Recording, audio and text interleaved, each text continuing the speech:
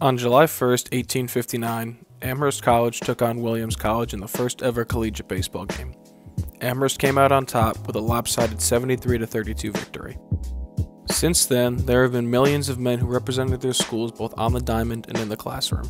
When Pete Incaviglia stepped onto the campus of Oklahoma State University as a freshman in 1983, he was set to live out his dream and be a cowboy. As a three year starter, he had impressive freshman and sophomore campaigns and one of the most iconic and legendary junior seasons of all time. When it was all said and done, Inky had put together not only the most impressive single collegiate season of all time, but he had established himself as the best college baseball player to ever play the sport.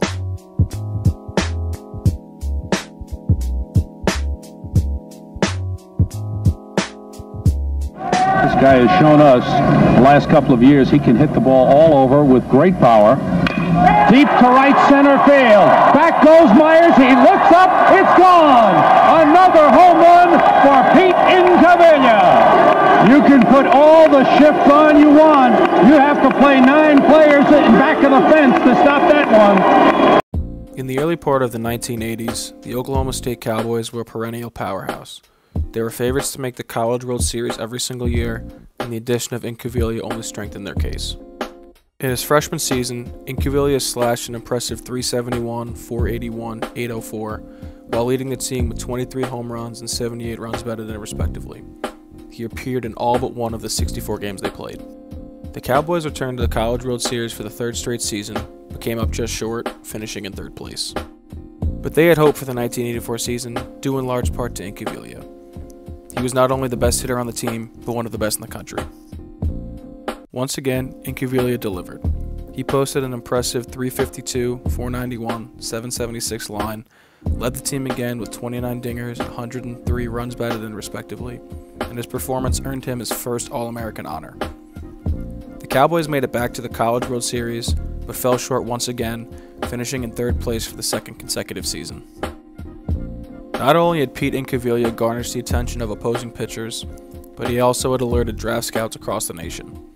He entered his junior season in 1985 as one of the top prospects and looked to deliver another spectacular season. He is well documented with his numbers uh, and the level of competition we play as being uh, as good a hitter as you'll see in college baseball, and he's he needs he belongs in another league. Uh, I don't question at all. I've known that for a year and a half. I think he'll be a very high draft, and I think he's an outstanding professional hitting prospect. His junior campaign in 1985 is the single best season in NCAA history. He slashed a ridiculous 464, 595, 1.140 with an unprecedented 48 home runs and 143 runs batted in in just 75 games.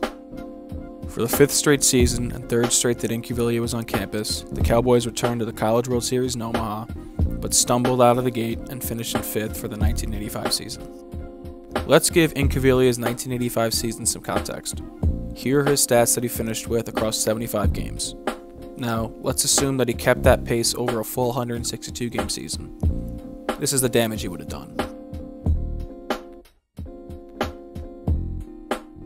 A stroke's a funny thing, you know. It's uh, it's good one day, it's bad one day, it's good one day. It's, it's hard to keep that even keel stroke, and uh, uh, I guess if you could keep it even keel, anybody could do it. But uh, you know, every day you got to come out and work hard and go back to the basics and take your strokes and uh, think about it and get ready to hit the ball. And you know, I've, that's what I've learned since I've been here. I've worked hard all year. You know, I pretty much got my stroke down to a fine art right now. You know, I, I work on every day. I hit I hit until before a game until I feel good. You know, I, I know I got to do the job uh, for us, uh, get the RBIs going. I, I, had to do it early, and uh, you know I put the pressure on myself. But that's where I want to be. I want to help these guys win. Incaviglia set NCAA single-season records with his 1.140 slugging percentage, 48 home runs, 143 RBIs, and 285 total bases.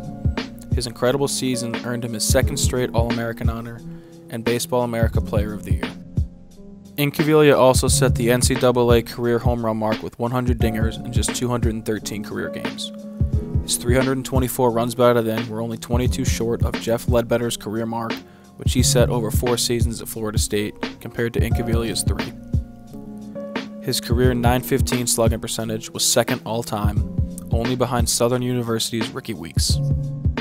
Aside from his statistical achievements, Incaviglia still received accolades long after he graduated. In In 1999, he was named College Baseball Player of the Century by Baseball America, and he was elected into the College Baseball Hall of Fame in 2007. His Hall of Fame class included Lou Gehrig, Christy Mathewson, Fred Lynn, and Jim Abbott. After his record setting career, Incaviglia was selected 10th overall by the Montreal Expos and was immediately traded to the Texas Rangers. As a result of him being traded, Major League Baseball implemented a new rule that requires clubs to keep a ball player for at least one full season before being allowed to trade them. This is now known as the Pete Incaviglia rule.